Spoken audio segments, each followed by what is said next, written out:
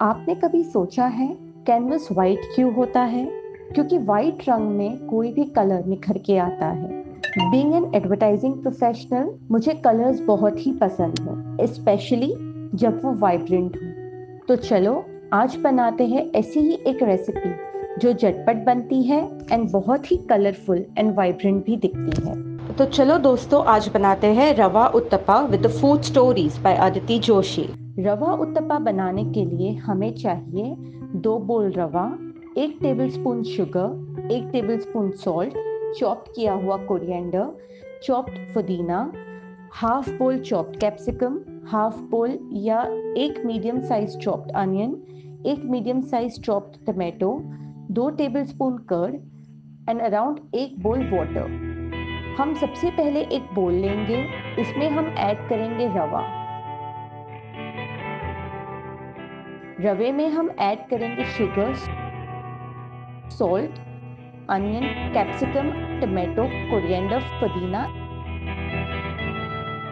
And दही। रवा बहुत ही filling होता है एंड हेल्दी भी। हम हमारे बैटर को अच्छी तरह मिक्स कर लेंगे।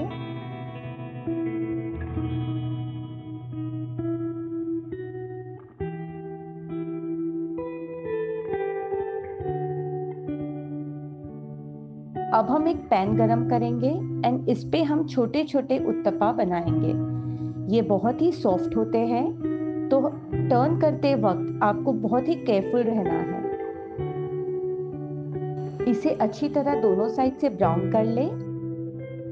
हम सबसे पहले कोतमीर और फुदीनो, फुदीने को अच्छी तरह से वॉश कर लेंगे। अब हम इसे मिक्सी में ऐड करेंगे। इसमें हम ऐड करेंगे शुगर सॉल्ट जीरा। अनियन, लहसुन, अदरक, हरी मिर्च। इसे हम कोर्स ग्राइंड कर लेंगे।